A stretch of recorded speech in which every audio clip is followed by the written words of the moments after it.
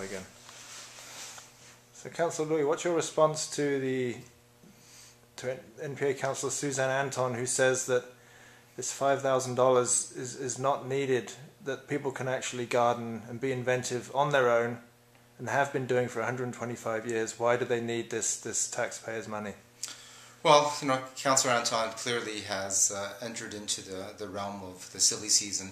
You know, political uh, um, um, aspirations on her part, I think it really brought out the, the worst in politics in, in our city. This uh, this is a stunt at, at worst, uh, and um, this this concept of us not giving money to certain community organizations to explore opportunities um, is uh, not not a new uh, situation. We've done a number of grants to a number of different organizations to uh, support uh, uh, their initiatives. And uh, ultimately, council has not made a decision on, on, this yet.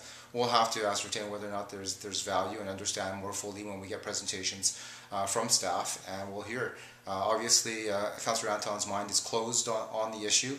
She obviously appears to, to have enough information already without a staff presentation, and I certainly will keep an open mind prior to making a decision on, on the issue. But you know, this is, uh, as I said, the silly season. Councillor Anton is looking for to score political points, and uh, her her stunts, uh, I think, will be uh, easily seen through by the by the electorate.